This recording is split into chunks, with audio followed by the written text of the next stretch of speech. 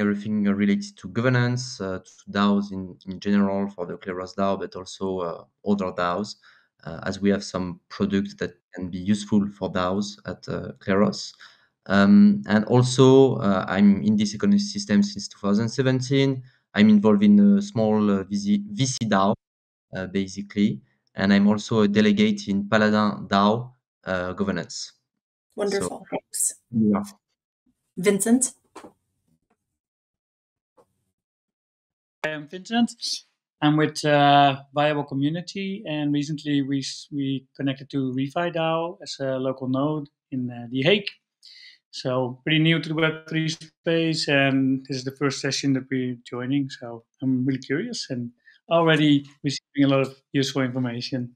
Nice to meet awesome. you all. Thank you. Uh, or timed? If not, we'll skip to Andre.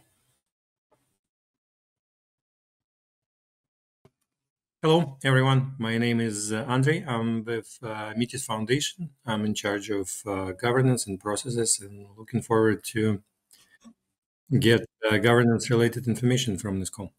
Awesome. Awesome. Nick, our good friend Nick, has been here, I think, every week.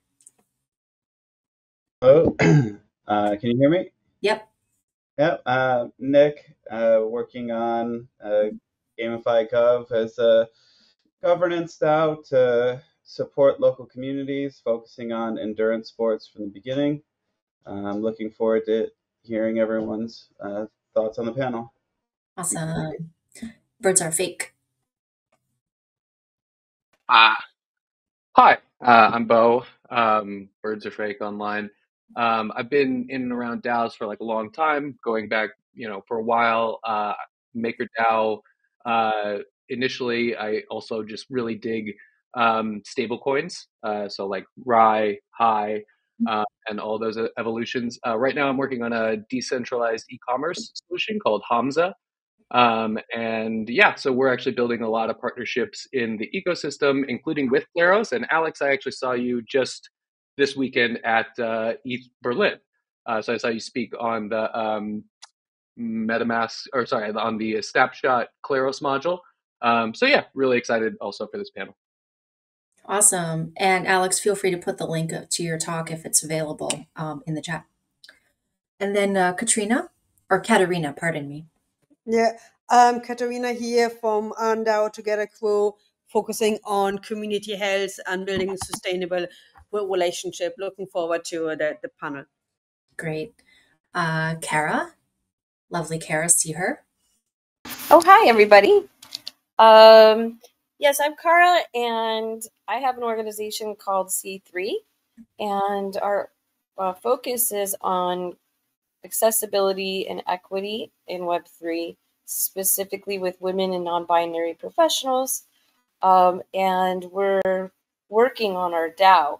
So this has been super helpful. And I think our goal is pretty much well, two goals with the DAO is unifying the women in Web3 ecosystem. So I've mentioned on a previous call, we have a um, a large, we've aggregated a database of the other organizations. So we hope to all come together and work on topics like financial inclusion. Thank you. And Zal? Hello, everyone. My name is Zal. Um, my username is Better Call Zal. I'm working on the Z Talent Artist Organization, also known the ZAO. We are currently a collective of music and tech enthusiasts, but we are building towards becoming a full fledged DAO. Um, and I just love all of the talks whenever I join in here, hearing all of the amazing insights. So thank you for letting me join. Thanks. And I think last, SAS, did I see a SAS? Yes. And if not SAS, Jay Biddle is the last one then.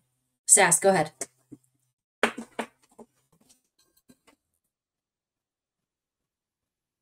Oh, you're muted. Sorry.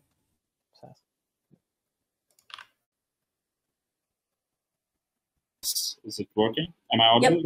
Yep. yep. Hi, guys. Uh, I um, started my Web3 journey being a DAO at OnDeck and thereafter dabbling in a bunch of DAOs. Uh, currently part of on-chain Monkey DAO, dabbling a little bit on uh, Cabin DAO, and uh, currently uh, gearing up for on-chain summer on Base as well. Uh, currently a professor of uh, venture capital and entrepreneurship in a Mexican university, and I'm trying to introduce DAOs as a subject in my curriculum as well. So that's my Awesome. Yes. Awesome. Awesome. And then if uh, Jay Biddle wants to go, I think that's it. Oh, is this this me? Yeah, yeah, yeah. Hi everyone. Uh, I'm Miss Klaus. Um, I'm a colleague of uh, Alex, and um, um, this is the first time I'm attending. So um, yeah, I'm very excited to be here. I'm a developer, by the way. Yeah. Awesome. Awesome. Awesome. Awesome. Okay. Uh, well, this is Mustache. If you haven't met Mustache yet, now you have. Um, this is uh, the time of day where he needs to be loved. So there you go. So, okay, governance. Uh, arguably the hardest part about running a DAO, um, outside of maybe knowledge management, um, which is not a unique problem to DAOs, right? Um, so, a little bit more universal of, a, of an issue. Um, but yeah, on chain governance um, is a challenge uh, because people don't like to vote and there's lots of issues. Um, and it costs gas, and we have infrastructure issues, and we have to coordinate a lot of people's, um, you know, interests alongside you know, like what the DAO's actual mission and purpose are, right? So governance really starts to get into how do you put your mission into action, right? How do you actually do the thing that your DAO says it wants to do?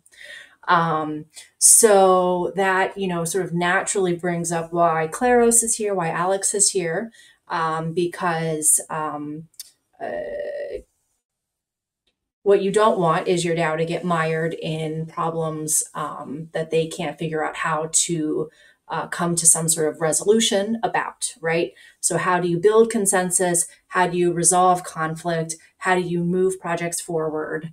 Um, uh, and what kind of on chain arbitration or mediation mechanisms are there available to do so?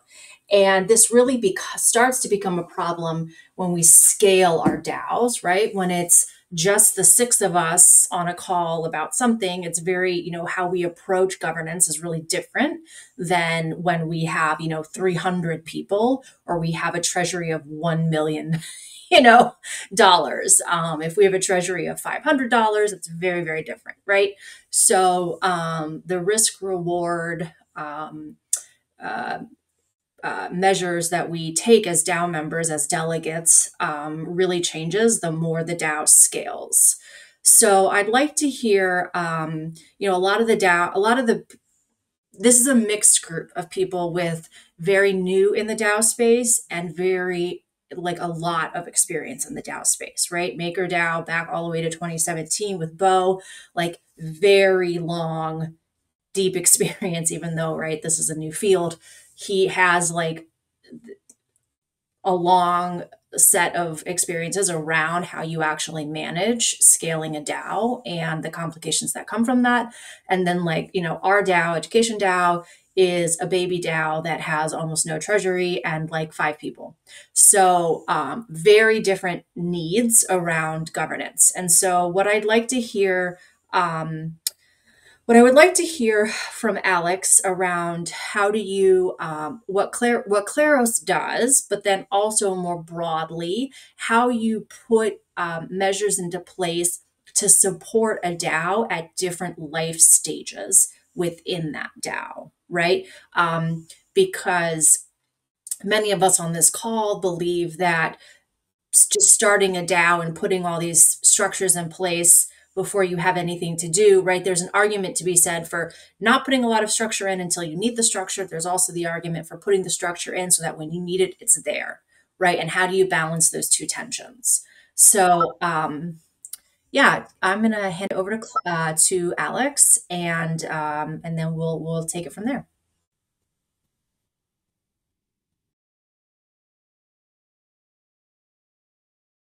I can say two words about. Um, so yeah, it's a broad question. So I can say two two words about first uh, about Kleros. So yeah, for people that are not familiar with the pro- protocol, for them to understand, um, the idea of Kleros it's to it's a decentralized dispute uh, resolution protocol. So the interesting point is it can be seen as well as a subjective oracle. So basically, when you have some um, people that disagree on a specific topic, on a specific case, uh, it's like it can be seen as subjective data. Um, Kleros, basically at Kleros, we have built a pro protocol. We are here since 2017, where we have basically jurors, uh, and anybody can join. So it's permissionless, it's transparent. Uh, you need to stake our token, and they are financially incentivized to look at a case basically and to um, vote and choose the more coherent answer. And the interesting point with that is if basically one specific party disagree with the judgment, uh, you can do an appeal. By doing an appeal, it will draw even more jurors, and there will be another round with more people looking into it. So it's a way basically, and, and you can do several rounds like that. So it's a way basically to get, I would say, basically this kind of wisdom of a crowd without having to pay for like a lot of jurors from the start, because basically you just start to pay for like a, a first set of three jurors, and um, this can grow. So the the first juror needs to think about like what should I vote, like what um, the majority would say.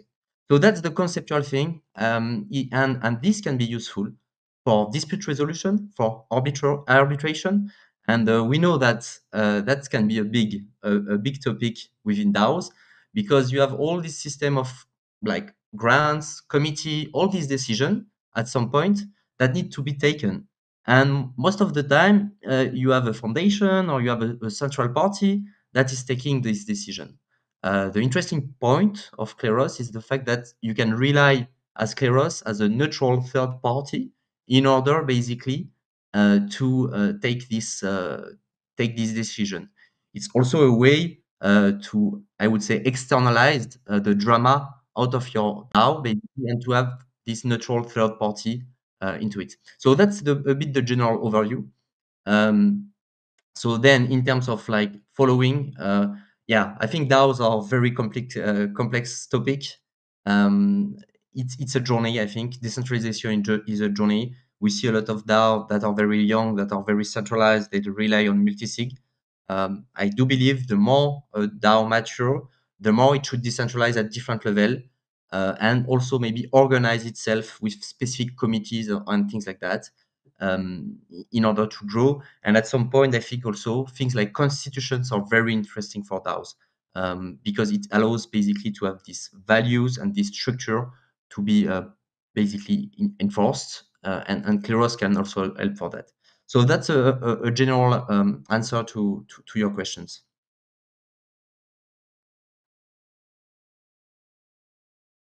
Thank you. Um, would your colleague like to say anything by chance? You, no, no pressure to. Just wanted to give you the opportunity. Uh, um, maybe I'll just um, add a little bit on the voting with the majority part, um, I think it makes more sense um, if we um, keep in mind that the jurors don't know how many rounds there might be and whether the, the round that they're currently voting in is the ultimate, the last round. Because ultimately they will be penalized or rewarded depending on, on the winning uh, vote of the of the final round. Um, so that's an incentive actually to really do their homework and um, vote on the, the merits of the the case. Uh, so I think that's a fairly unique uh, feature as a voting mechanism compared to the, the rest of the voting systems for governance um, that we, we have at Kleros for arbitration. Thank you. Um, okay, um, so uh, taken that point, I'm wondering, Alex, if you can give us um, an actual example of an arbitration that you have done uh, for, let's say, not a huge DAO, let's say like a, a medium sized DAO. Um, to give some of the people here an example of the kinds of conflicts or um, issues that that come to you for arbitration. Yeah, if we take um, the um, specific use case of DAOs, uh, we have um, some specific use case. I'm thinking about one in specific with one inch DAO. Um, that is a relatively big DAO, but uh, I mean there are bigger ones uh, around there, like uh, Maker or Aave are way much bigger. Uh, so with, with one inch, basically, we have this um, this this they have this module ins installed uh, in their safe um, Mhm. that is leveraging Kleros technology. So uh, this module allowed to have optimistic governance process and to have uh, gasless voting. So basically, they have a community of one inch token holder that can vote. They vote on the one inch uh, snapshots uh, space, basically. Um, and the interesting point is basically when the proposal is prepared, the person that prepared the proposal already put the transaction that will be executed by the multisig. So it's a way for the people to have a, a, a real voting power and, and to really be able to enforce in a trustless way, in a permissionless way, a, um, a transaction and a proposal that has been voted. And that's very uh, powerful because you know most of the time what happens is like people vote on snapshot and then the multisig do what they want. If they don't want to execute, they don't execute it. If they want to execute, they execute. In this in this case, they have no choice. So you, you, we are by this use case really enforcing and empowering the community. Mhm. The interesting point is it's an optimistic process. So some of you might know about optimistic rollup. Uh, here the idea is the same with optimistic governance. Basically, you prepare a transaction and um, you basically put a deposit in order to attest that uh, this transaction is matching with the proposal that has passed. If basically it's right and you didn't make a mistake or you're not trying to attack the system, all good basically, and the transaction is executed. In this case, Kleros is not in the loop. Uh, we are just entering in the loop in the case of some if somebody try to challenge one of these transactions because somebody is trying to attack the system or because somebody is trying to manipulate something or maybe because something somebody made an error. So we had a case uh, with one inch actually it was more a testing case. It was done, uh, it was triggered basically by uh, the one inch team that they call for arbitration. So they request basically uh, an arbitration from uh, jurors and the case went to Kleros. Uh, the Kleros, uh, it went to a specific court that is the blockchain technical court. So in this specific court, we have some people that are uh, quite technical, so they know how to read uh, transaction in Solidity. So they look at the transaction, they look at the proposal on snapshot, they look at the hash and the batch, all these technical things, and basically they resume that uh, uh this um, in this case, it was a transaction that was invalid. So they all put a no, basically, and the transaction was blocked by Kleros, as it should have been. So um, yeah, th basically that's a concrete um, example of like a very specific, uh, it's a bit technical, but it's an optimistic governance process, and all Kleros can basically be part of this system. Yeah. Great, thank you so much. Um, are there any questions from the group? Um, is there anything somebody doesn't understand? Um, optimistic, like Alex said, basically means it goes through unless it's challenged. Um, what was another term you used that I wanted to make sure people understood? Um, one inch is a really big uh, wallet, right? It's a wallet protocol, right? It's an Um, aggregator. Yeah, one inch is an aggregator, so it's built on top. It's basically uh, allowing you to uh, tap on. Um, it's finding you the best route in order to do a swap. So yeah, uh, it can go to Uniswap, it can go to SushiSwap. It's on top of like uh, right. decentralized exchange. We have a really angry unicorn um, logo. Exactly, Logo. in case you see it. Um, so yeah, for the people who are newer into the DAO space, please put your questions in the chat or raise your hand as Spencer just did. One sec, Spence. Um, and then um, if any of you uh, are fast with the keyboard and want to put links in as Alex or anybody else is talking uh, about things that are being referenced, uh, please feel free to do that also. Like I said, this is a pretty mixed group. Um, so I want to make sure that context wise, everyone is understanding um, what we are talking about. Uh, go ahead, Spencer. Yeah, just a, a, quick question for, for Alex about Kleros's processes. Um, would organizations approach Kleros once they have some dispute, or would they work with Kleros to set up dispute resolution processes like ahead of time, generally? Uh, so, if we take if we talk into in specific into DAOs, basically there is this. Um, um, so yeah, our focus is on this specific product I have mentioned, basically allowing to do off-chain, basically um, voting and on-chain execution in a trustless way with this optimistic governance process. So that's really uh, one tool that we think is really useful, especially when you know uh, gas fees can be pretty expensive. Uh, but you can definitely think about other uh, use cases, and it can be like, yeah, if a, like for instance, if we take a DAO like Vita DAO, they have agreed that if a specific dispute uh, occurred within the DAO, uh, one of one of I think the default tool they will they will use would be Kleros basically. Uh, but it, it will be necessary for them to load basically uh, all the different proof uh, in Kleros uh, to pay the arbitration fees, and then the Kleros protocol will do will do its job.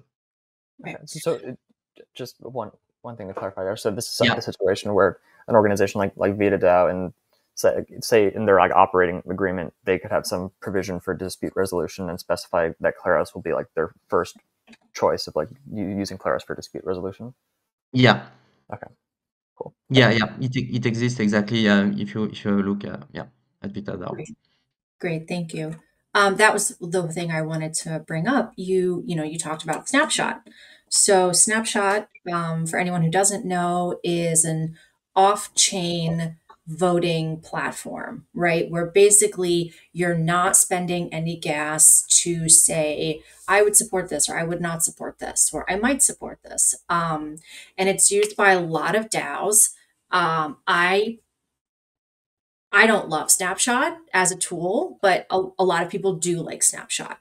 Um, so if you are, and one of the reasons Claire, like Alex was talking about Snapshot, is just because someone, a group votes a certain way on Snapshot, there's no executionable functionality, right, built into it because it's not a smart contract. So if people vote yes, you still, whoever has uh, a signature ability on the multi-sig still has to execute that action, right? And that's where he's saying there can be a dispute where somebody can, in fact, ignore whatever happens on snapshot and do what they want. If enough of the multi-sig whatever minimum number agree to do that right? So that's where the arbitration uh, or dispute resolution uh, function then comes in. So this is um, this is part of the dao governance that is different from governance in other types of decentralized organizing right?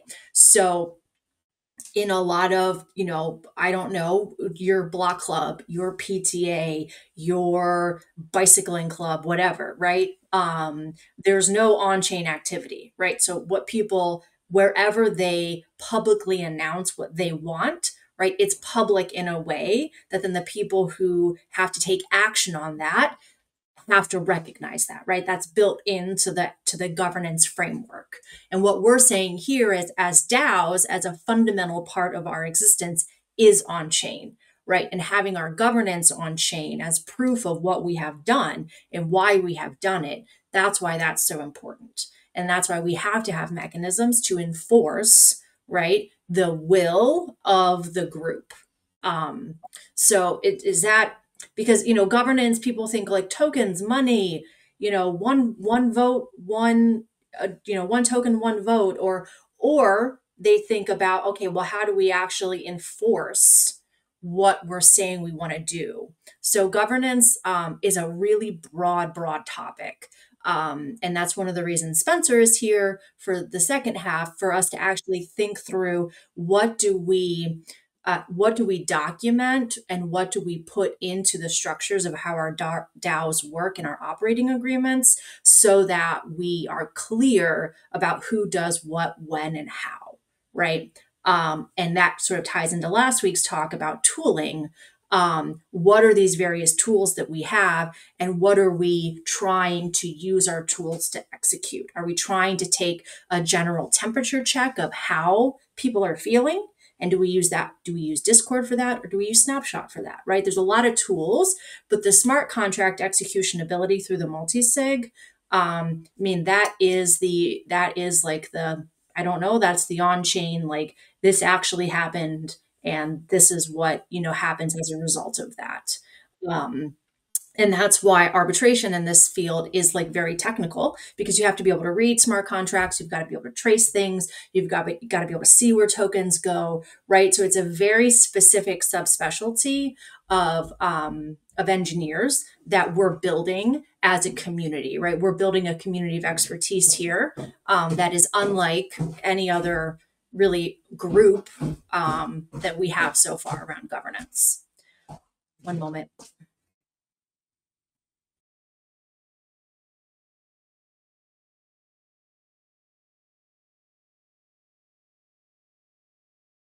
that.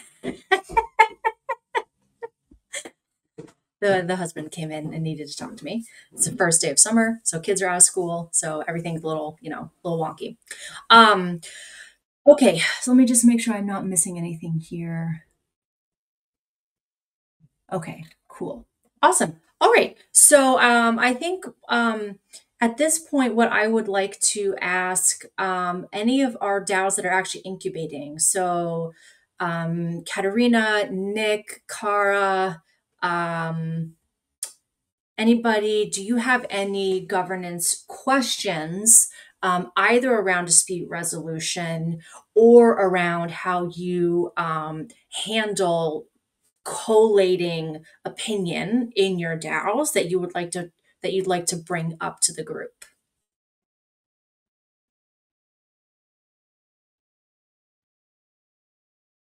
I had a related question. So, because there's a lot of like, I guess, different best practices and tooling and everything, um, do we have, I guess, standards for like having flexibility for a DAO to like, because the processes and community are going to evolve over time, is there an approach to like go on chain with a mechanism that is capable of evolving, like with some flexibility?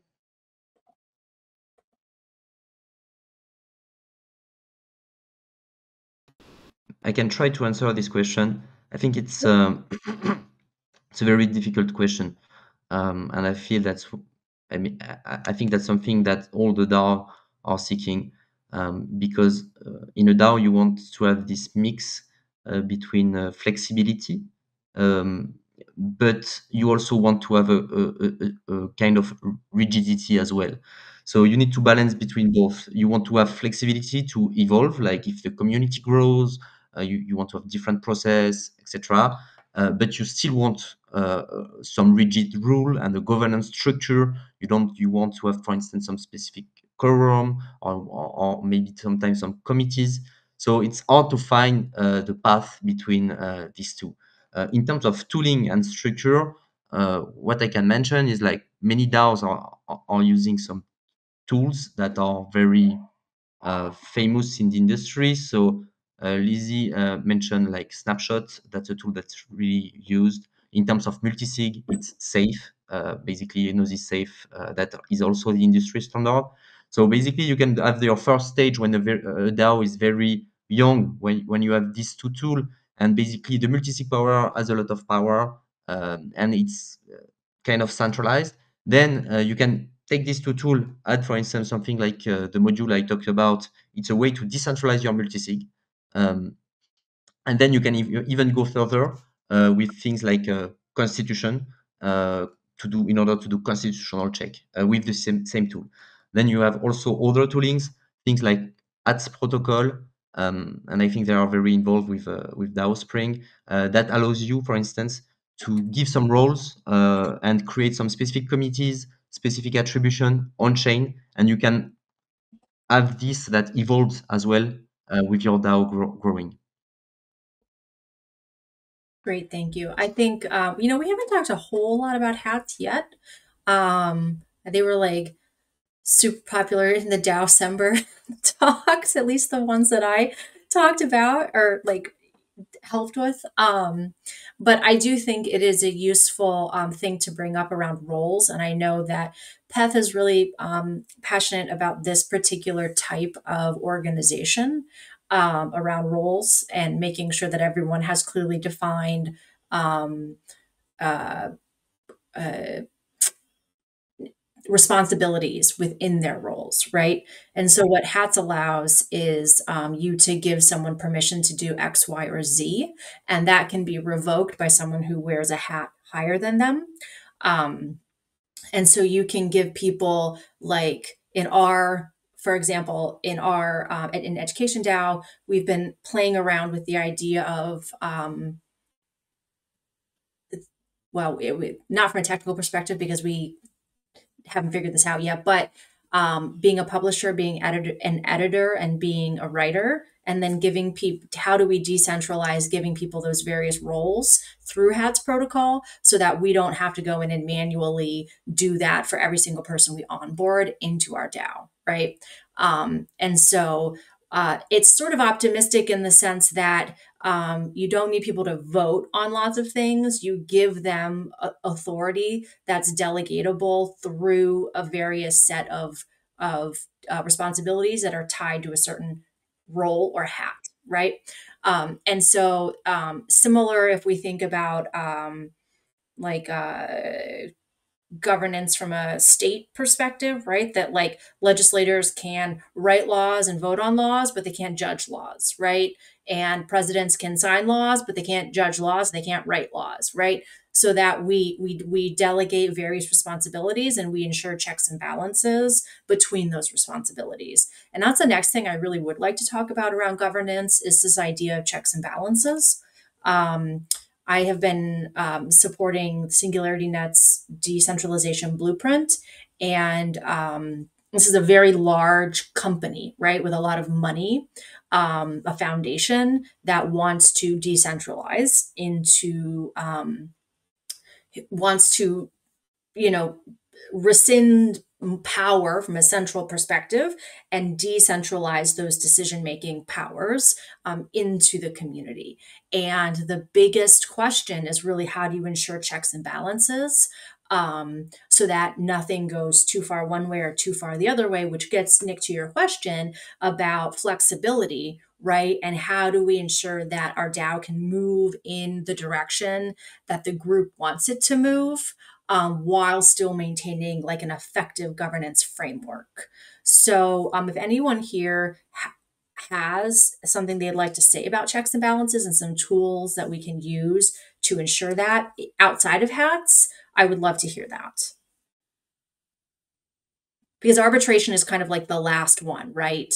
Ideally, you have checks and balances before you get to a conflict that eliminate most conflict. Um, so just wanted to throw that out there. I I do have some.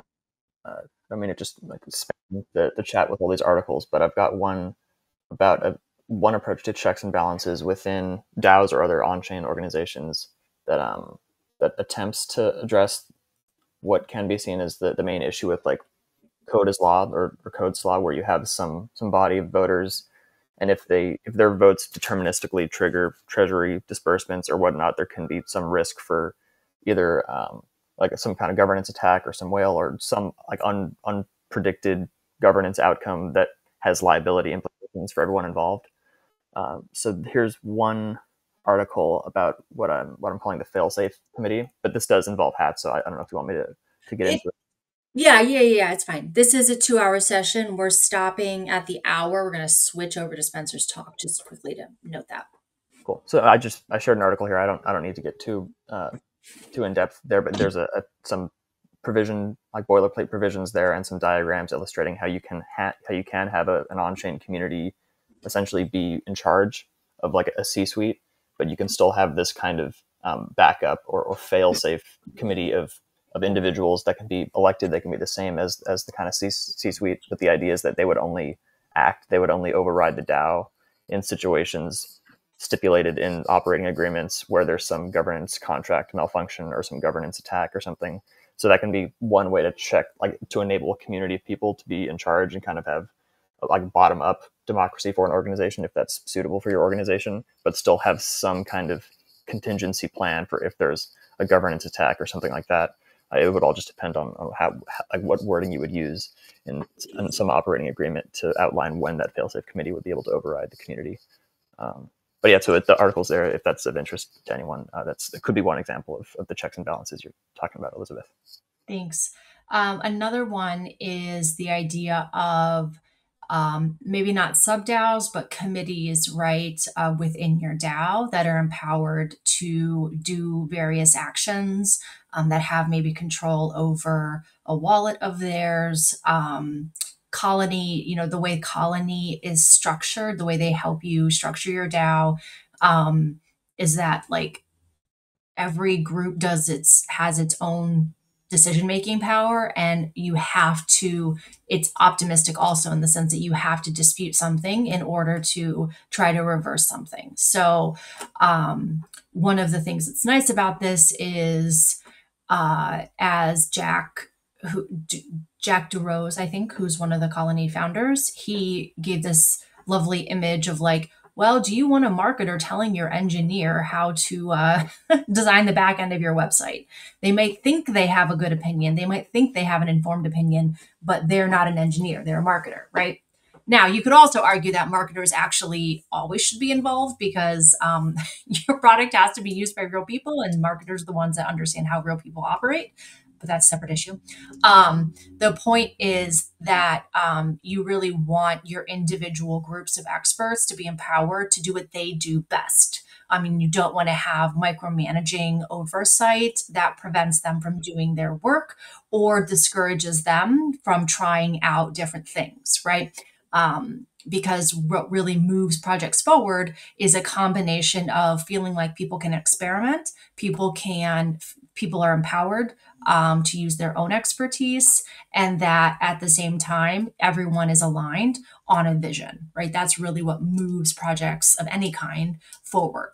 Um, and so uh, the idea of, of, subcommittees or sub DAOs or you know um, however you want to describe that that structure um, is another way of checks and balances that um, I think are particularly effective in a decentralized.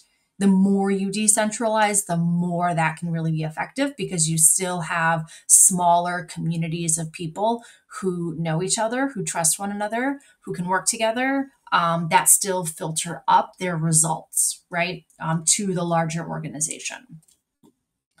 Um, and we saw that, for example, like in the Me Too movement. We see it in a lot of actual just like populist movements um, with uh, uh, uh, Occupy Wall Street. You know, we saw how that was sort of replicated in smaller forms in lots of different places to sort of change a narrative, right?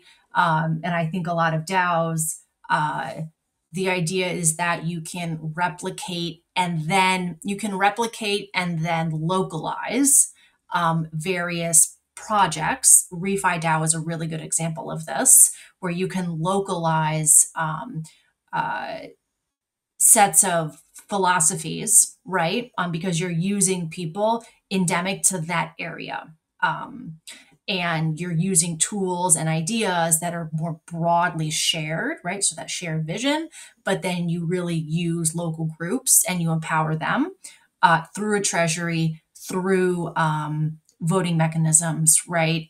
To to then do that work. Okay.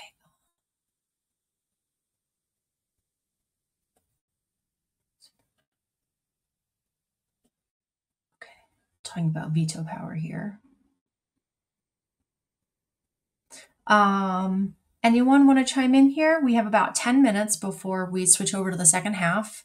Um, and if anyone has, a, again, a particular case um, that they want to think through uh, with the DAO that you're starting or, or problems maybe in former DAOs you've had and how it could have been addressed differently, happy to talk through that. Um, or I'm happy to throw out another question. Uh, I can address one of the, the questions in the, the mm-hmm. chat. Just say it instead. But um, uh, uh, Adam's question: uh, Is it enough to design against governance attacks rather than giving people the power to retroactively nullify them? Um, I mean, in, in, my experience, I think if uh, if you have a well-designed governance framework, you can prevent most, like like safeguard against the likelihood of, of most of these risks. But you can also probably find ways, depending on, on what your organization is, to like give certain voters the power to retroactively invalidate things should certain criteria be met.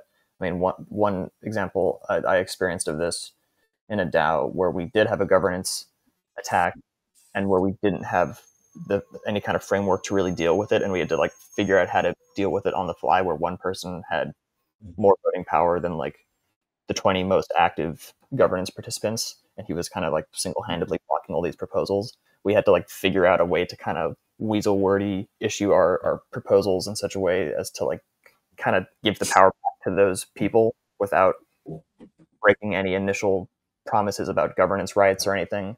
Uh, and it was like a, a, total nightmare. And it ended up working out pretty well. Um, and we ended up facilitating like a rage quit. And I think people were as satisfied as they could be from a, a situation like that. But if we had things outlined very um, concisely and, and, thoroughly ahead of time, we you know could have avoided something like that. And it just it sucked up so many people's uh, times for like uh, like a, a, few weeks at least. It was crazy.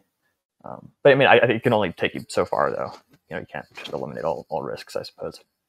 And I think that's a really good point about um, experience and expertise, right? Which are two different things. Um, you might have participated in a lot of DAOs and have a lot of experience, but if um, if you're not the one like critically thinking about how to eliminate those situations in the future or change them, then maybe you don't have the expertise to then guide other DAOs on how to do it differently. So, um, just participating in a lot of DAOs means that you participate in a lot of DAOs. Really thinking through the governance challenges that various DAOs have had and how to address them is where the expertise comes in. And that's what um, a lot of people here have. And it's what other people in the DAO communities have. And that we want to make sure that you all have access to in thinking through how you set up your governance documents. Yeah, go ahead, Bo. Hey, on on this topic, I've been um, so uh, we're in the beginning stages of building out our DAO right now, and specifically voting out, or building out like the mechanism of voting power. And I was mm-hmm. wondering if anybody has any experience with like uh, demurrage uh, as like a voting power concept. Um, so like uh, I, I think I'm saying that D E M U R R A G E, and so like the idea would be that um, you have a token, you stake the token in the the style of like a curve uh, voting mechanism, but the underlying voting power like disintegrates over time. Um, and if you have this like or, or goes to like a treasury which is then redistributing the token to active participants in the system. And I, i'm talking sort of in in general sense right? Like we have some specific ideas of how that would be implemented. But i'm wondering if anybody has uh, that right? That like uh, you know uh, decays power over time and continues to distribute to active participants in the system.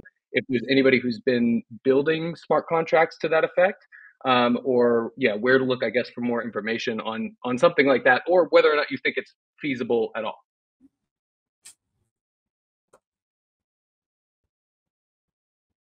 I think it's totally feasible, but but I'm not a smart contract engineer, so uh, how to actually do that um, from from a like a I, I I totally think it's feasible. Um, to any anyone before I go any further, anyone have anything that they want to shout out about that idea?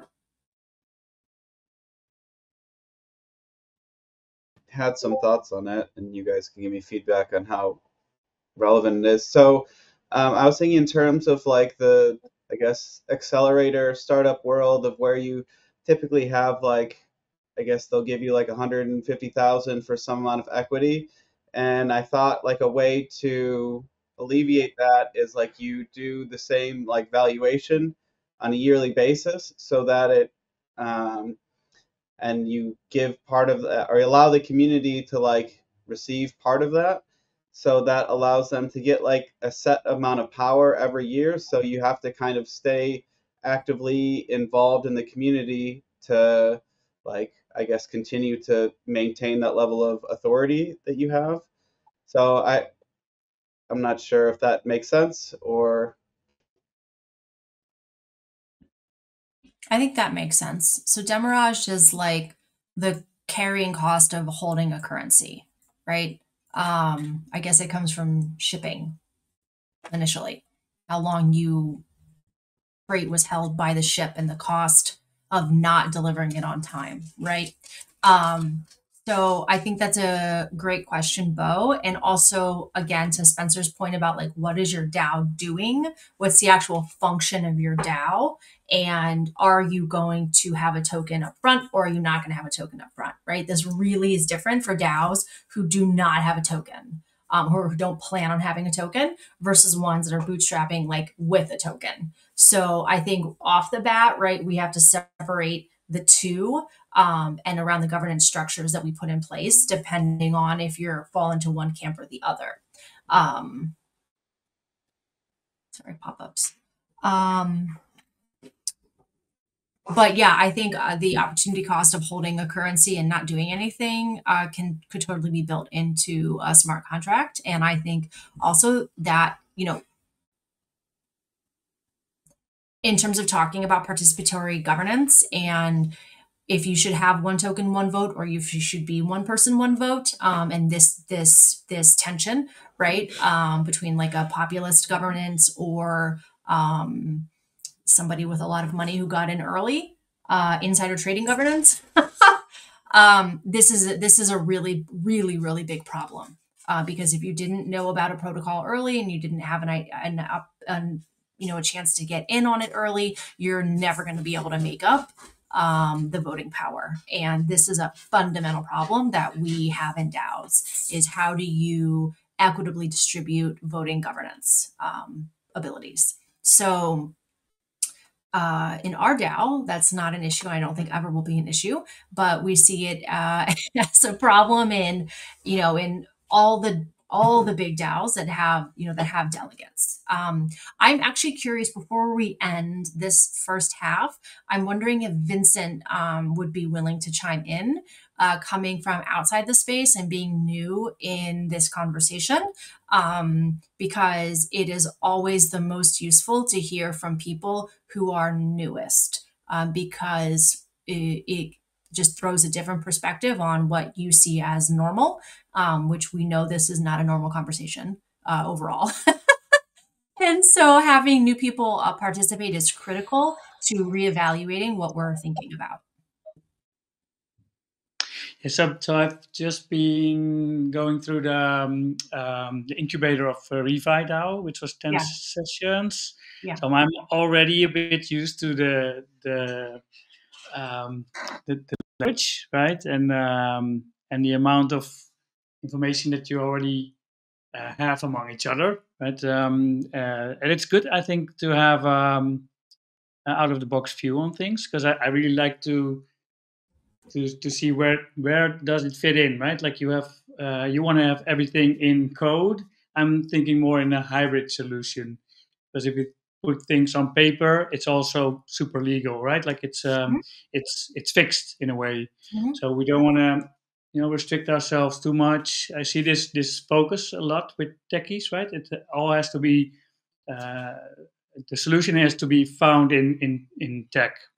While there are many other things already around, like uh, and it- it's really good to hear your experience. There's so much that I still need to learn, but already I have some ideas like how we can learn from the mistakes. Like we don't want to give too much power uh, related to the economic interest of the like the token holders. So we thought of like uh, using the square root of their total tokens. So if somebody has like a million tokens, they can only have like a thousand times the voting power as somebody has for like one token and we are also we, we want to have like um, voting rounds where also the local community gets involved. So we don't want to distribute power equally. Some people have more uh, expertise right? So they need to like add up their expertise to their voting power. And also the locals they could be um, uh, gifted some tokens based on which decision has to be made right? Like if it's about noise or something Mhm. And you know, they, they will be um, more important stakeholders. But uh, to answer your question, yeah, I, I think if you're coming from a space where you haven't heard anything about the Web3 stuff, it's not uh, possible to follow. So um, that was, I think that was an excellent. Um, I think you you made a couple of excellent points. And does anyone know um, how Dr. Bronner's works as a company? The Dr. Bronner's is a soap company, and he actually was like a huckster from Germany who stole his family's soap recipe and like fled and came to America and like was a shyster, but then also actually did start a soap company. And now they're based out of California, and his children or grandchildren run the company. And the way the company works is the top paid employee cannot make more than 10 times the lowest paid employee. And so it's an it's a way of addressing corporate um, wealth inequality, like wealth inequality, right? Mainly in the private sector. Um, and making, but it's not a cooperative, right? It's not that model. It is a traditional um, uh, private company, but they have it built in that the top person can only make 10 times what the bottom lowest paid employee makes. Um, and so th- this point, Vincent, around the inverse voting proportions, right? Making sure that you only have so much um, um, difference between the voting powers of the individuals who are participating, I think is a really, really interesting idea. And uh, one thing in the DAO playbook, if you if you read it um, for the governance section, is that we there's a lot from models outside of DAOs, right, in the private sector, in the public sector that we can learn from, right? And so we don't have to reinvent everything that we do here. There's a lot that we can take. There's a lot we can take from nature, um, which Spencer knows I'm obsessed with emergent strategy, and Peth knows I'm obsessed with it.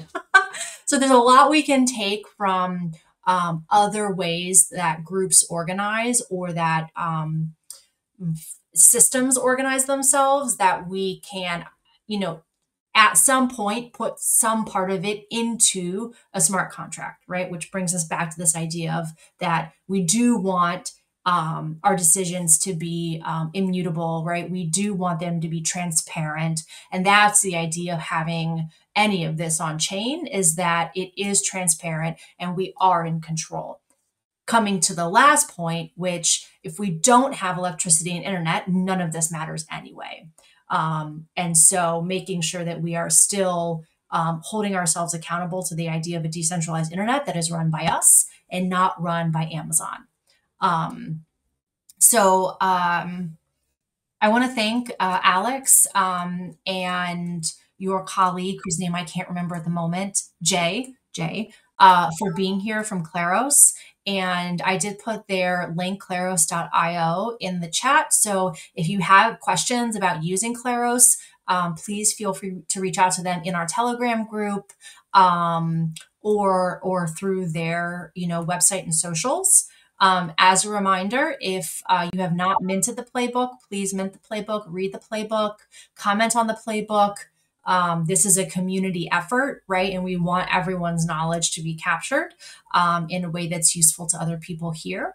Um, and then if you do want to start your DAO on Optimism, we do have those grants um, uh, and awards available. So the, that announcement is on Twitter. It's also in our Telegram group. All right. Uh, so this is Spencer.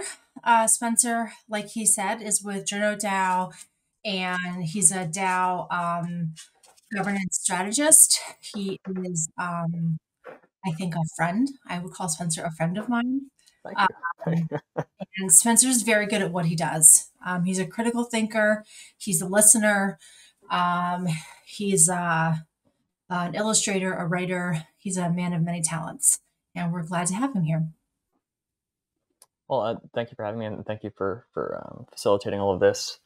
Uh, I have uh, like sort of a process in, in mind for this, but I also just wanted to get people's thoughts for what they wanted out of this. I shared a link to uh, this governance framework that I've been sharing as a template. I also walked people through this um, for Colony's DAO Club, one of their meetings a few months back. Um, so it's it's sort of like an opportunity if you if you if you're in a situation where you're in an early stage organization and you're trying to start up governance processes and have like kind of explicit an explicit framework for decision making and driving consent and everything, uh, this could be useful.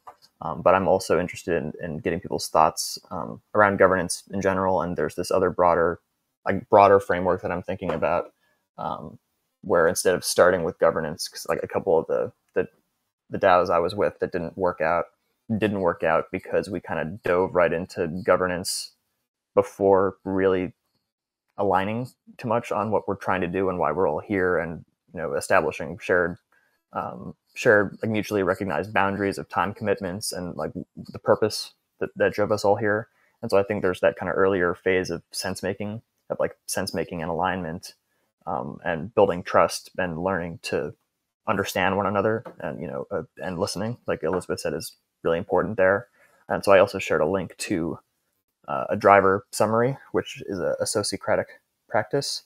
Um, we we had a couple of these talks at opus collective and the the, uh, the facilitator there, uh, Michael, is a, a, great sociocracy practitioner, and he walked us through this soci- sociocracy practice called um, driver mapping, and that's an example of getting a group of people, a group of people together within an organizational context, especially at an early stage, and just going through this process of identifying alignment and like key stakeholders, what people are trying to get out of things, and so that process, I think, something like that should precede this kind of instituting governance frameworks that, that I'm talking about here. But if you are at that stage, it can be useful. So I'm, if uh, if people are interested in this, I can share my screen and, and go through some of this stuff on the, in the governance phase. Do you think that would be? Is this what you had in mind for the workshop, Elizabeth? I think great. Cool. Share my screen.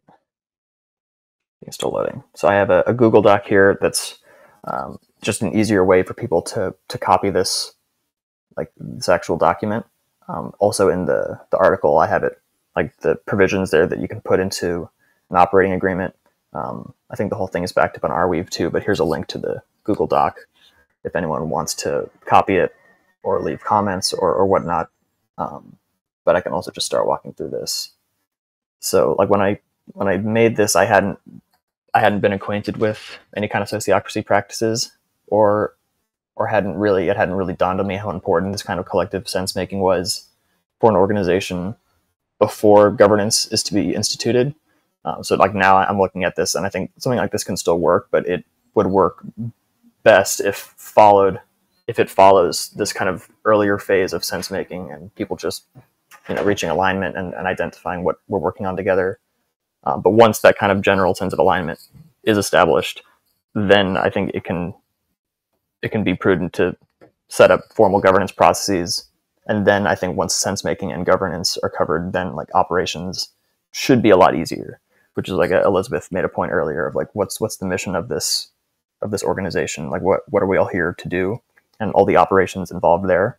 But I think like jumping straight to that can have a lot of weird implications and miscommunications and, and friction and maybe even liability um, if you don't have sense making and, and governance set up first. And if you jump straight to governance without a lot of the sense making up front, it can just lead you down these rabbit holes of, you know, DAOs as in dudes arguing online about just mechanism design endlessly for a kind of perfectionistic uh, governance processes. Uh, I'm sure that's that's sucked up a lot of our time, and I feel like a lot of that dialogue, a lot of the conflict in designing governance frameworks can be avoided if that group of people spends time up front identifying their shared purpose and learning to communicate with one another and identifying how they can work together and, and why they should work together on more of like a, a why level than a how.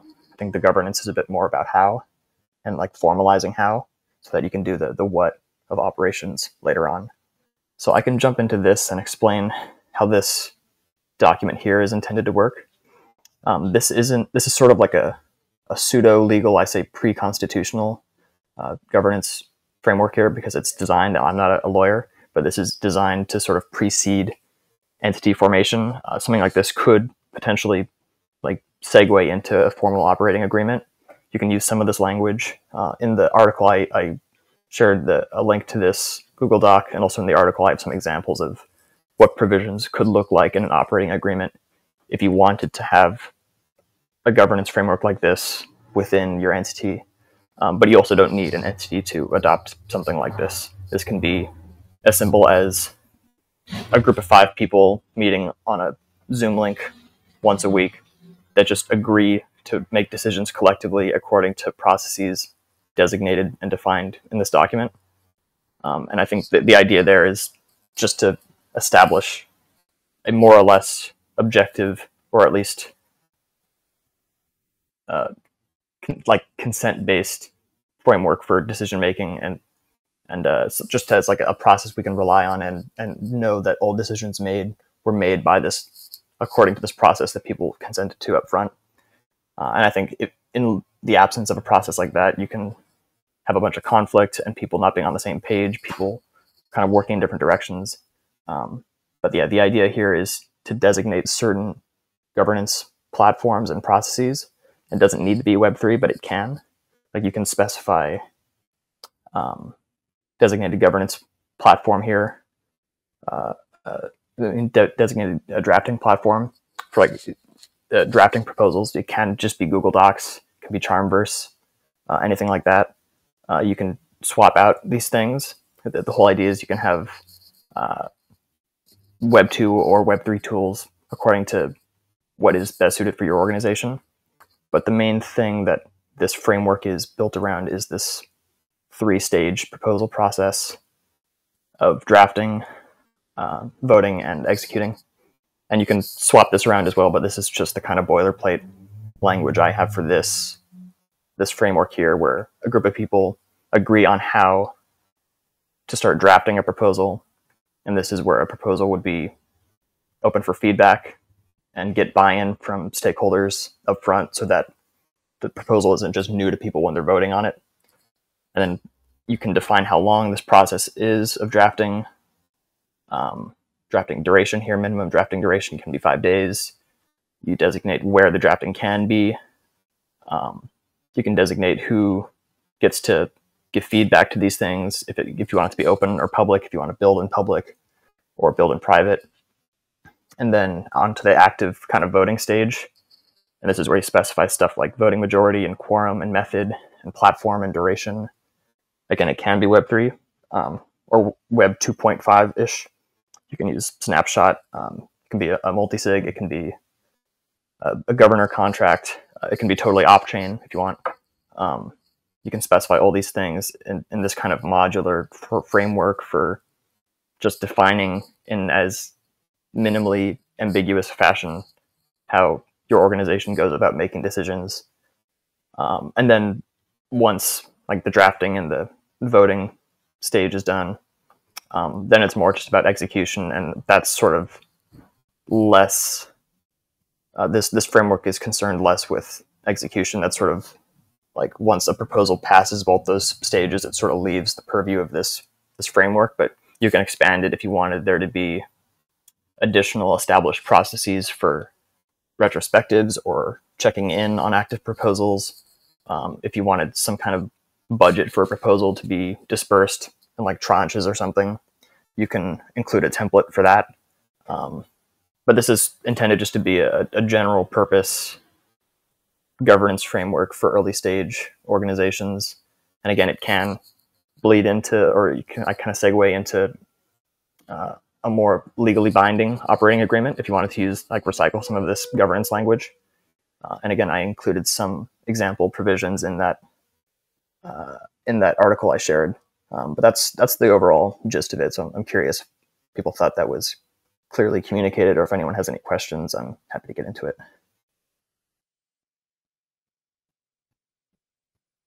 question.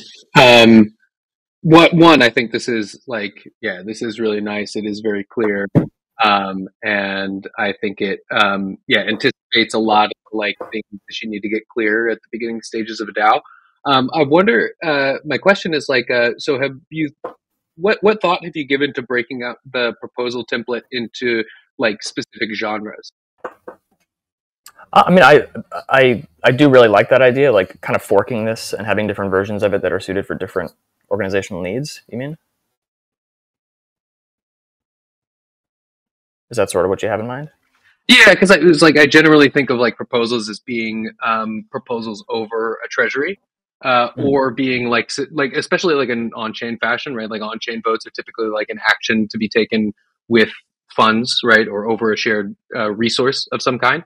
Um, and then you have your like more symbolic, um, you know, like uh, organizational goals or uh, st- strategic goals or um, you know something like that.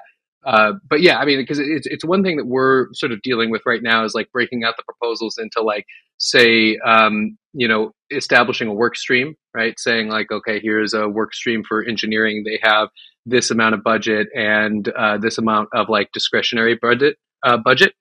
Um, and then you know like uh, we include like a sunset provision um, so that like, okay, you know, work stream runs out and must be reauthorized over like a, a, a, certain period of time. And yeah, I guess I was just wondering like what, what other, so like, and then there's like, uh, say individual contractor agreements, right? So like we would say like a core team member, someone who is uh, in our model, right? Like you have a core team member, a core team member is then able to make the proposal for a work stream, which includes like a discretionary budget. And I was what, again, I guess the question is like, what other sort of genres of decisions um, do you think can be made into specific proposal types? Oh, okay, that, that's a, great question, and I think like th- like thankfully the way this is constructed is such that it, it's like all this process here, it's kind of like meta meta proposal governance stuff is is like agnostic to the actual template of the proposal itself. Uh, so you can have multiple pro- proposal templates that can be fed through this governance process at, at a drafting stage and an active stage. So like if you if a group of people were to to like ratify or, or consent to a governance framework like this, they could have multiple proposal templates. One of them could be a contractor agreement. Um, another one could be like a, a project scope for a team within that organization um, with with sunset provisions, with uh, like ongoing budget kind of milestones. And you can have a number of different templates here that are, can be used for different purposes, and they can all be fed through this um, through this governance process in terms of just a drafting stage and a voting stage. Um, that's that's really what this framework itself is mostly concerned with. Um, but to your question about other other genres for proposals, um, could, there there can be another one for if you wanted to like add someone to a core team or a, or a board. There can be some some other template you have for that for proposals, and that alongside some like another one that you mentioned was like a some kind of contractor agreement. Those can be different proposal templates that can be filled out, um, and but they can both be fed through this this process, and this process can be can be uniform, or you can say like, oh, you know, for voting duration, maybe for certain types of proposals, you want a voting duration to be longer, so you can like specify that up here. Or if you just want the same voting duration for all kinds of proposals, regardless of whatever proposal genre it is, uh, you can have it be uniform. Um, does that does that sort of address your, your question there? Does I mean, um, I, I, again, I'm I'm like thinking through a lot of these issues personally for us right now, and um, yeah, and then I guess like maybe a follow up question would be like, what do you see as like the like the init DAO proposals, right? So like, so for instance, um, if if you know like the kinds of proposals are like setting up a work stream setting up uh, a you know core team contractor agreements or something like that it also implies that there's some like evaluatory mechanism um, uh, that says like whether or not that proposal was successful maybe even by its own own metrics and so would it be that there is like there are like a couple proposals that like out of the box for any dao that's starting like hey we need to make a proposal to establish the functionally the justice system, right? Like who who who has the authority to review whether or not like a proposal was successful? Um, and and yeah, so like what do you what do you see as maybe being some of those like again like init DAO constructor methods, you know, for for lack of a better term. I, I love that term actually. Um, I, I like the the idea of this kind of um, kind of like highly generalized kind of a init proposal template, and that's that's sort of what what I have here, although what I have here doesn't account for some of the, the things you said, like designating authority for reviewing success metrics, or if there's any other kind of evaluative council or something you wanted to designate. But this one here, this this proposal template, which is a fork of the template we used at Lobby Three for a couple of years, uh, tweaked a little bit and kind of shortened. Um, this this one was intended as like a, a general purpose proposal that like you can use like you can use this proposal template itself to ratify this governance framework to kind of like bootstrap a, a governance framework from from from nothing uh, like if you're just operating in this kind of amorphous kind of uh, pre pre governance phase of an early stage organization you could fill out a proposal with these parameters and just use that use this proposal template itself to establish this whole governance framework. Uh, you know, you would just have, um, I mean, it would be bootstrapping. So if you wanted to do this on Snapshot, you would fill out this template and then specify Snapshot up here in the voting platform. So you can use this to initialize governance as like a this this one here, or you can take some of these um, and include them in a different proposal template.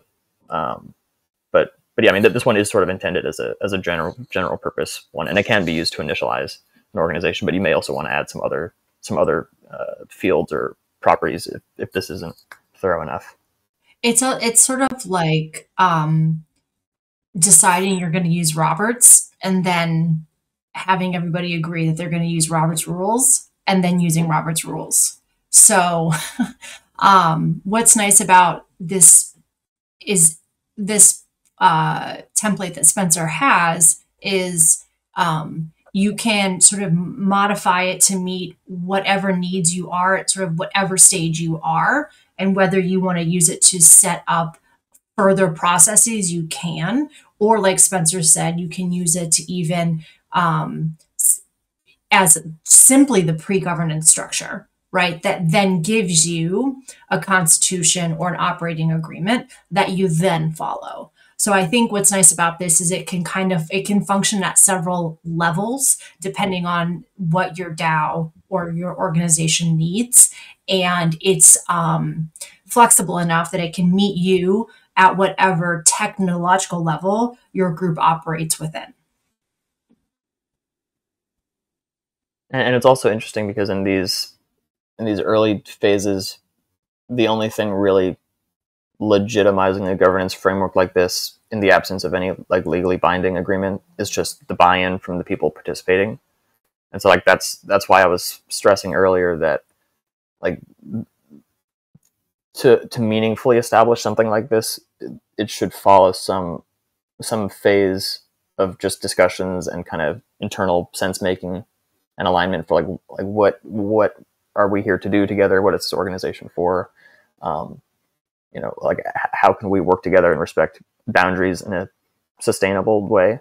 I feel like that, that's one thing that's been a, really big learning curve for me in DAOs is like expectations of like contributors' time and, and energy, and you know the likelihood and the duration it would take for them to be compensated for that and, and just trying to come to terms with as much of that as possible up front um, just so that just to avoid burnout because in so many of these at least for for my experience so many so many of these early stage DAOs have you know funding issues especially if they're concerned with public goods and just like recognizing all those boundaries before making any formal agreements I think can be really important but, yeah this this is intended to be very general purpose and um, and kind of maneuverable like you can you can ditch it when you want to form an entity uh, and have like legally binding agreements, or you can carry over some of the language, or you can actually ratify this as a governance agreement. You can have like an operating agreement defer to this. You can have provisions in an operating agreement defer to a document like this for governance purposes.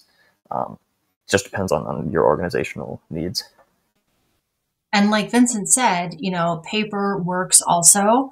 And in the playbook, you'll see that um, somebody made the point that um, your Discord rules will also serve if you have nothing else in place. So the point is that you have something intentional in place that you really think through what do you want to signal as the place people go to reference how the organization functions. Exactly, because like if it's if you don't have something like that, then it's sort of people may be may have different conceptions of how governance works. It may then there's like all these kind of soft power, um, uh, kind of issues of, of how decisions get made and people not being on the same page and constantly having to repeat things or like uh, constantly kind of doing this ad hoc governance process that's different every time, so it's not quite standardized. So I think it's even if it is just Discord rules to start, uh, having something kind of objective to point to um, that's that's fixed and that people buy into and, and agree with. I think that's that's really the the best way to get organizational governance started. For sure, I, I mean, I fully agree. I mean, I think um, you know, again, I don't, I don't really want to monopolize conversation, but uh, um, our uh, yeah, when we started as a team of four, um, self-funded, and then we um, established what I called like the proto governance framework, right? Which was just a, a set of very simple rules. It was uh, we have to have unanimous consent to make uh, like three genres of decision, um, and it was adding or removing a team member, um, spending money in any discretionary sense, or uh, empowering a team member with a work stream.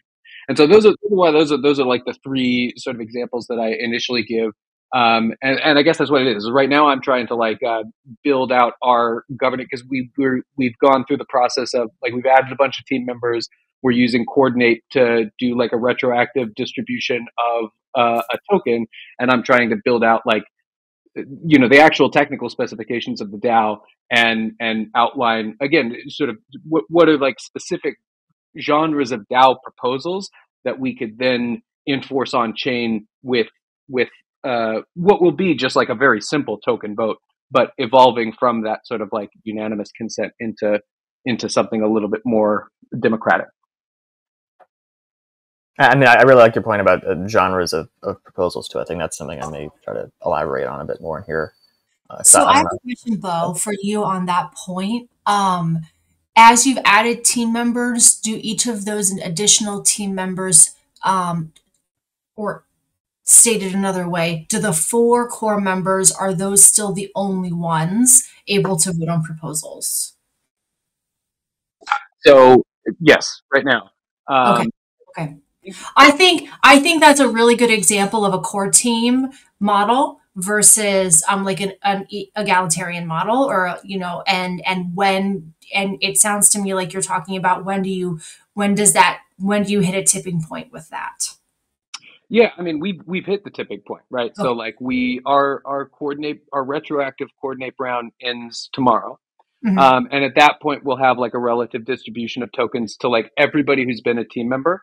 Mm-hmm. Um, and then, you know, again, we're, we're probably not going to enforce the, but we'll distribute, you know, some sort of representative token. Eventually mm-hmm. our token wants to have, you know, is, is sort of integral to the utility of the system, not to get mm-hmm. too deep into that, but like, um, and then we can just do snapshot votes. Um, and so everybody on the team, and then so at this point we're evolving from like this core team to to having like unanimous consent to the core team members to then within these like sort of proposal genres we're going to start setting you know like uh, voting thresholds quorum requirements. But it's still you know like i, I think we're uh, like 12 13 people now. So so it's not huge right? And the distribution is relative according to a Coordinape brown. Um, uh, rather than any sort of like pre-existing agreements. Um, mm-hmm. But yeah, we're we're just we're you know going from dictatorship to democracy, right? So this mm-hmm. is this is sort of just like the next um, metamorphosis, right? Mm-hmm. mm-hmm. mm-hmm. Thank you for sharing.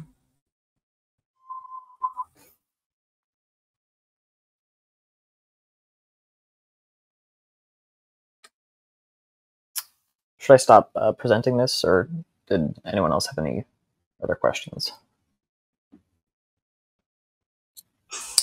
Um, I think uh, my next thing I have, Spencer, unless you have something else you want to talk about, is um, how you transition to a legal entity um, and the role that governance, like the, the tie in, right, to a legal entity and governance.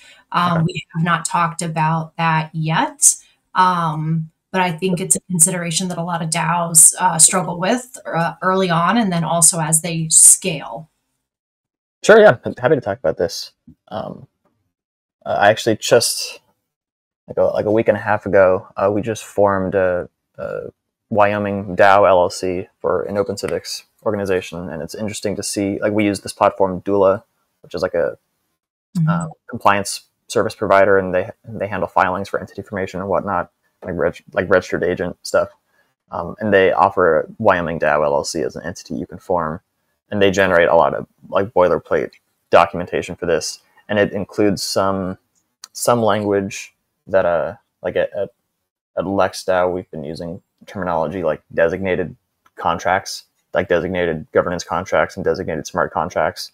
Um, and what that would mean here, I can, I can share a different screen actually. See here. I had something else.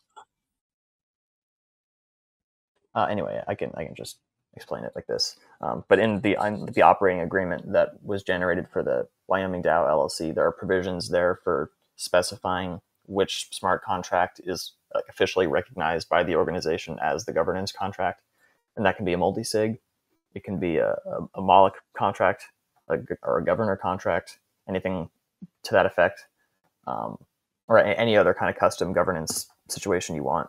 Um, the interesting part is when you start marrying on-chain governance with legalese and, and legal documentation.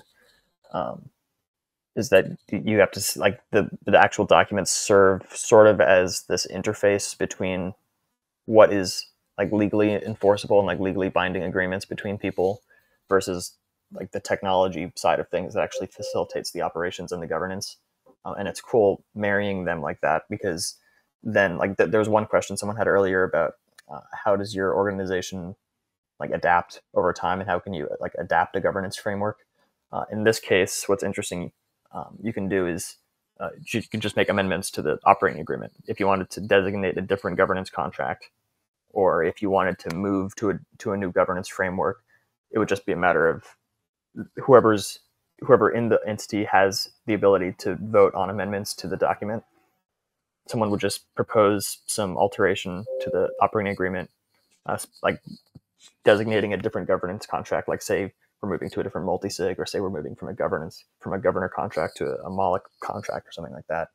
It would just be a matter of swapping out the uh, contract addresses and maybe some other language in the operating agreement and then voting on that and keeping that kind of um, that kind of ratification in, in your internal minutes or recording or something and then it's like like magic it's like you've just switched to a different governance framework and so that's that's one example, and I'm not sure how. I know that Wyoming DAO LLC has been around since uh, 2001. I mean, uh, to 2021, um, and so I, I don't know how much precedent there is of like really using this, or like what kind of organizations generally use this. Um, Wyoming also just passed the uh, Decentralized Unincorporated Nonprofit Association uh, Act, I think. Um, so that that's a new new entity there that's uh, just like a, a, a, bit more of a blockchain based version of the unincorporated nonprofit association. Um, so there's a couple options like that. I haven't I haven't dealt with a, a Duna yet, but that, that's like one example of how you can use on-chain governance and kind of adapt that just by uh, amending operating agreements. Spencer, can you um, add the link to Doola? I'm assuming it's not D O U L A, which is a you know somebody who helps you have a baby. Oh, that's that's it. Yeah, you've got the right link there. I got the right one. Okay. Yeah. Okay. Thanks. yeah, that's what we used. It was very very smooth. Um.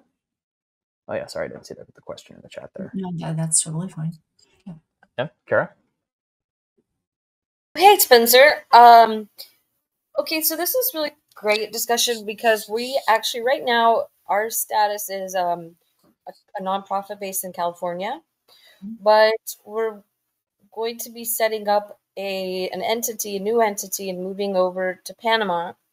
Uh, there's actually a great organization called Korporatio. Starts with a K, um, and they're forming offshore organizations. But I know the founder well, and it's like nice because it doesn't feel like a sketchy kind of like offshore thing. Um, and what's cool about some of the structures they do, I'm not familiar with all the jurisdictions, but Panama is like a hybrid corporation, foundation, and DAO. structure on the blockchain. And so there's a lot of seems like good positive benefits for for being a part of that along with taxes. Um so I was curious like I, I I know his organization supports in you know the legal formation and some other things, but that's what I was looking at with Doola here.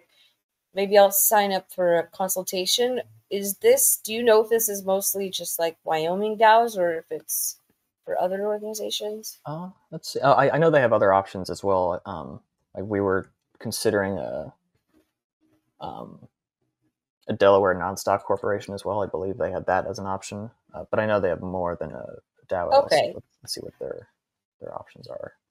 Um, I, I can reach out to them too, but this sounds like a really useful service. Um, because I, yeah, I'm like, okay, so probably I need to, you know, move everything over with like agreements and I guess find a Panama based lawyer or, you know, but if there's services, something like this that do it more on a global scale or something, that would be great. Yeah. so- yeah. Go ahead, Sorry. Spence. Oh yeah, just a quick uh, answer there. Uh, it looks like Doola offers services for um, an LLC, a DAO LLC, and a C corp. Um, I'm not sure if those are just limited to certain states within the U.S. or if they have a, variety of options there. But I just shared a link where they they Oh, share thanks. Yeah. these options. Yeah. DAO LLC. That's cool. Is that would that only be Wyoming DAO probably? Yeah, well, I, I think Tennessee had a, has a similar one, but I, I'm not sure. I could have that wrong. I think I think Tennessee followed Wyoming in setting up a DAO LLC entity. And this is another really good point about like where are your members based? Where what is your um what your DAO's offering? Like is it um located anywhere in any way that um you know you would have to make considerations for uh the tax and regulatory implications with various statuses. Um, so that comes um, to that first point Spencer is making about sense making um, and alignment so that uh, you do pick the right formation for your DAO and that you have the ability to adapt or change that should um, your DAO membership change um, in a way that uh, you would want different legal um, protections or options um, depending on where, where your organization is domiciled. Totally. Right. And then the, the another consideration there for entity types that makes a lot of this uh, makes makes life even more difficult for DAOs is a lot of these entity options. Most of them uh, are really do force centralization for like Mhm. purposes of compliance and accountability.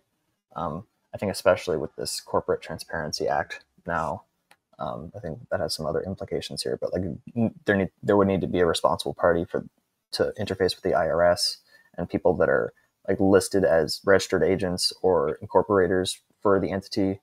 Um, and then if your if your entity has like a fiat bank account, there's limitations around that as well. Um, but I think one thing to look into if if anyone's curious in in like decentralization friendly legal engineering is uh, is the Duna um, example I, I gave. I can find a link for that as well. Duna, Okay. Yeah, this would be a great service if someone expanded Doola like globally to different regions outside of the US, you know.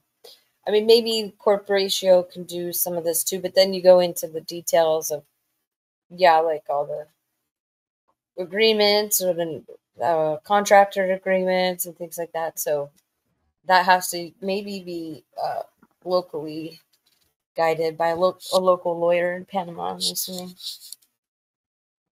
Well, And I know a ultimately, lot of people here have lo- know lots of DAO lawyers. So if you ever have a question about where to find a rep- reputable DAO lawyer, lots of people in DAOcember and DAO Spring know lots of lawyers. Yeah, Oh, like like cool. Adam Miller was just in the in the call to the Thriller.eth. Um, he's with MIDAO for Marshall Island DAO entity formation. Here's a little article on Wyoming Dunas. Okay, thank you.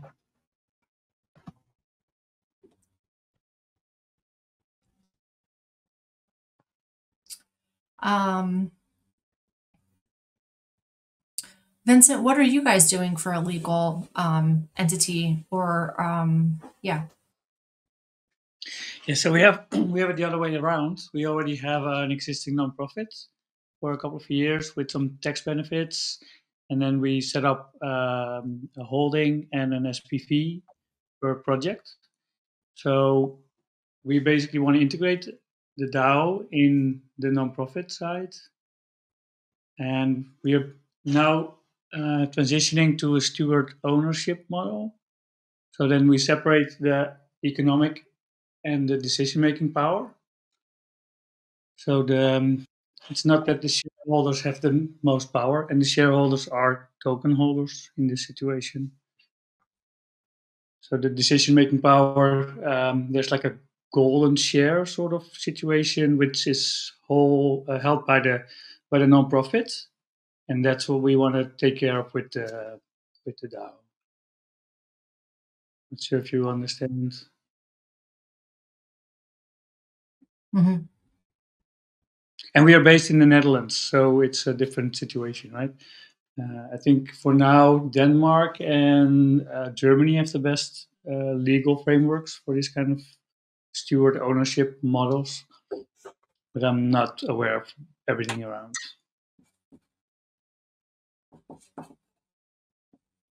I will say um, this is something uh, that I think that we need more education around in general. Um, our non-U.S. models um, outside of Marshall Islands, um, and I know new ones are coming all the time. Um, so this is one of those fields that uh, you know takes a lot of effort to stay on top of, but does affect your governance framework, right? like, I think a bit limited as a U.S. citizen, right? Because you're excluded from a lot of uh, existing frameworks, and uh, it's like in the in Europe, we can easily set up uh, an Estonian company or register in Lisbon, or I'm not sure if they allow like even for investment opportunities, often U.S. citizens are excluded because you know like the possible lawsuits that follow. So I'm not sure how um, how your uh, possibilities are there in Europe, but definitely worth uh, looking into. Yeah.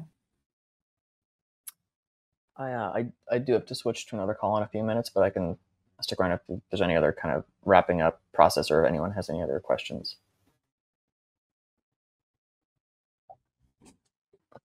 Anybody got any questions for Spencer? Well, Spencer's on all the socials, especially Warpcast, um, and in all the channels. So feel free to reach out to him. Um, he's great. He helps lots of DAOs um, and uh, is always open to feedback about any of these uh, templates. So uh, feel free to iterate with him. Uh, so thanks, Spence, very much. Uh, if you have not joined the Telegram group, several people have joined today. Awesome. Thank you.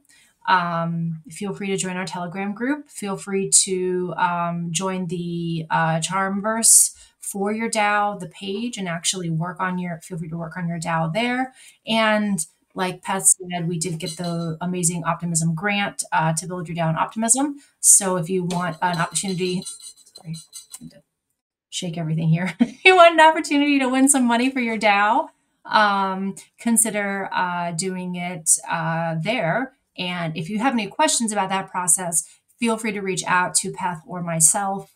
Um, we're happy to help in any way or answer any questions um, about that. Um, I have a hard stop at one o'clock, so um, I won't be able to stay around after that. Um, but uh, uh, is there anything further anyone wants to bring up in the last couple minutes here?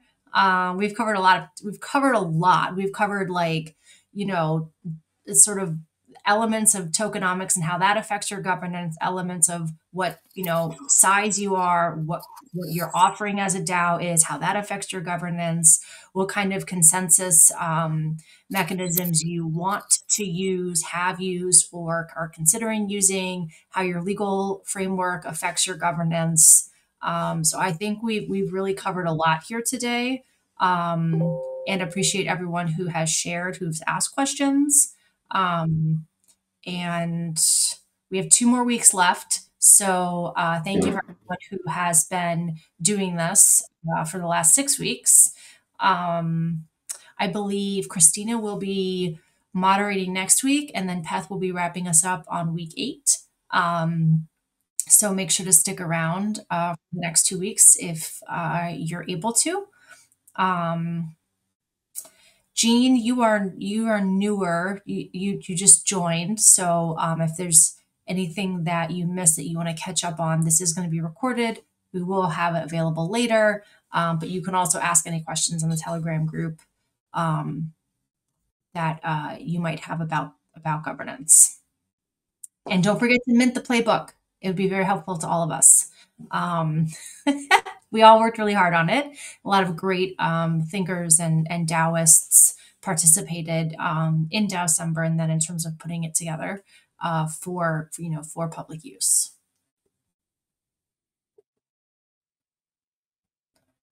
Okay, folks. Well, then maybe we'll give it a wrap a few minutes early. Um, oh, Vincent, I'm sorry. It's all right. The Telegram group will stay active.